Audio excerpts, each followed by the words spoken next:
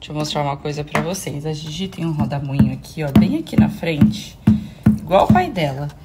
Bem nesse lado do cabelo. E aí, essa parte do cabelo não vem pra frente. Mesmo se eu faço penteado, tipo, com cabelo molhado, eu divido no meio. Aí, quando começa a secar, essa parte aqui levanta. Então, não daria pra fazer franjinha, porque essa parte vem pra frente. Mas o lado de lá não vem. Gente, deixa eu falar uma coisa pra vocês. A gente fez a campanha de Dia das Mães da Karsten. Eu, minha mãe, a Nina, Gigi, vovó. E nas lojas da Karsten tem as nossas fotos. Nas lojas tem outdoor, só que não tem aqui em São Paulo. Karsten, me ajuda. Eu sei que tem no Rio Grande do Sul, tem em Santa Catarina, o Leandro tá, tá, tipo assim, vamos pegar o carro e vamos pra lá pra tirar uma foto da Gigi com o outdoor de fundo. Eu queria tanto ver.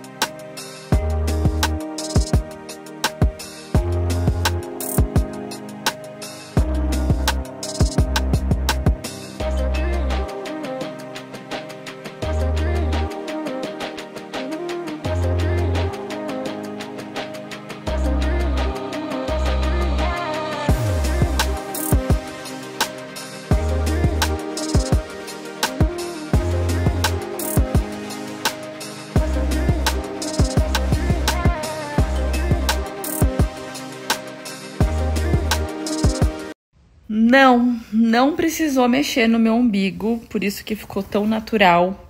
O meu umbigo continua sendo o mesmo umbigo. Não que não mexeu, mas não refez o umbigo. Então eu até perguntei pro médico, eu falei, como que eu explico isso, né? Ele falou que no meu caso, pela quantidade de pele que tinha para tirar, que não era muita, e o meu umbigo ele já era um pouco mais alto do que, sabe, não normal, mas ele era um umbigo alto.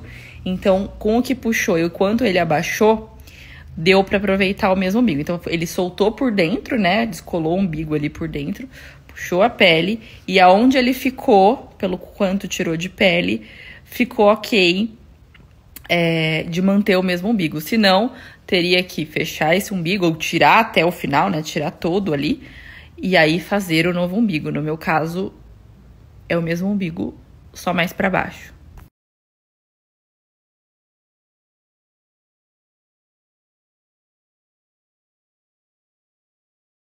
A espuma, ela é para ajudar a compressão. Então, além da cinta que já dá uma compressão, as espumas também são para ajudar essa compressão, para reter menos líquido e inchar menos também.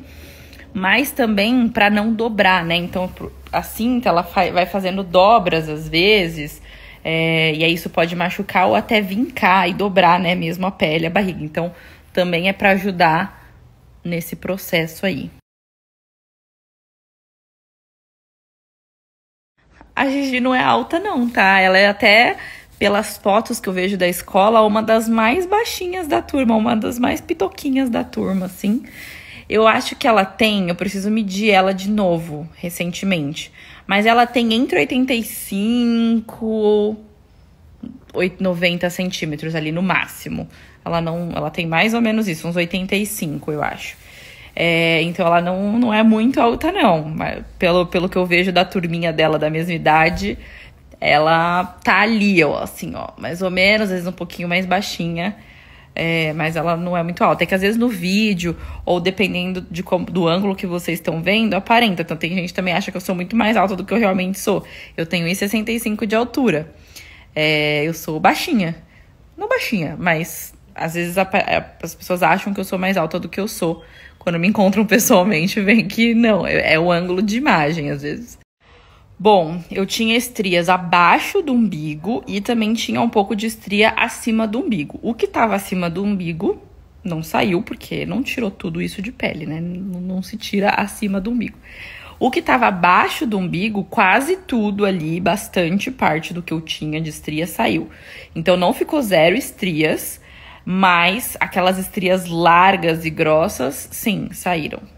sobre o umbigo, tá? É, antes da cirurgia, a gente não sabia se ia dar para fazer isso. Inclusive, eu estava ciente de que se não desse para abaixar, é, para o umbigo sair completamente, né, lá embaixo na cicatriz, e também se ele não ficasse numa posição ok de manter o mesmo umbigo, que além da cicatriz da cesada daqui de baixo, além dessa cicatriz, eu ia ter uma cicatriz aqui no meio. Ou seja, ia fechar o umbigo, então ia ter um, um risquinho no meio da barriga e fazer um novo umbigo no lugar certo. Então eu sabia que poderia ficar assim e sim fazer um novo umbigo, né? Só na hora que ele ia conseguir realmente ver o quanto ia dar para tirar de pele, aonde ia ficar o umbigo, se ia ficar bom, se não ia ficar bom. Então eu poderia sim ter um outro umbigo e além disso uma outra cicatriz. E aí, no final das contas, por conta da quantidade de pele da, da onde era o meu umbigo, deu certo.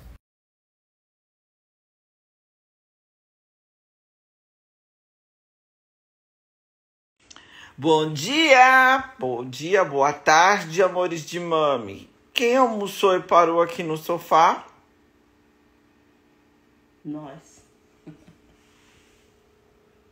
Nós três. Olha lá de onde eu uso o Bob, ó, ó, ó, ó, ó. Meus né, mãe? meus bobinhos. Não tem pra ninguém, ó. O Bob, ele fica enrolado Mas tempo, né? por dias. Ó, não dormi solto, eu não fiz nada. E ó, entendeu? Nós somos adeptas dos Bob. Eu ainda queria aquele secador rosa que tinha aquela touca, sabe, mãe? Eu queria É. achar aquele. Hã? É mesmo, né? Que enfiava a touca, touca plástica com um tubo. Tem um monte de gente aí que teve, mãe. Elas falaram, é. Tem aqui numa das Você lembra? ca- Das casas de antiquário. Vintage. Oi, gente, bom dia. Essa semana tá muito especial porque é o nosso segundo Giro da Nina e hoje estamos em Jundiaí, que é tipo minha segunda cidade. Eu tô sempre aqui, cidade vizinha. E começamos da Dani Cosméticos e olha o que temos aqui. A nossa super penteadeira maravilhosa, muitos produtos. Entra lá no Instagram que vão ter muitos conteúdos, paleta autografada, sorteio ao longo do- dos meses aí e muito mais. Stop, I'll get it if I want it Gotta make to myself a promise I won't quit, keep going till I got it I won't give up till I'm on top, Yo, yeah no, I ain't the type to give up. If I do something, man, I do it till I get what I want. I turn a business out of nothing into something I love. I got a poker face, but honestly, I'm not one to bluff. I Agora viemos aqui na Fique Bela em Jundiaí. E, gente, olha que demais. Tem algodão doce e tem brigadeiro pink e green, tá? Das paletas. Inspirado nas paletas. Olha que demais. Aqui tem também, ó, a Nina Gigante. E tem muitos lançamentos. Gente, tem coisa que eu nem mostrei pra vocês ainda. Olha esse kit, que coisa mais linda. Tem também os lançamentos de Trintou. Ai, meu Deus. E tem este móvel que eu amo. Acho ele lindo demais. Eu vou no verde, gente, ó. Muito obrigada. On top, I'm always flirting with pain. She like to hurt me and maim. I'm always working to change, but she's still lurking the same. I keep on building a dynasty while the haters be trying me, but they hate from inside.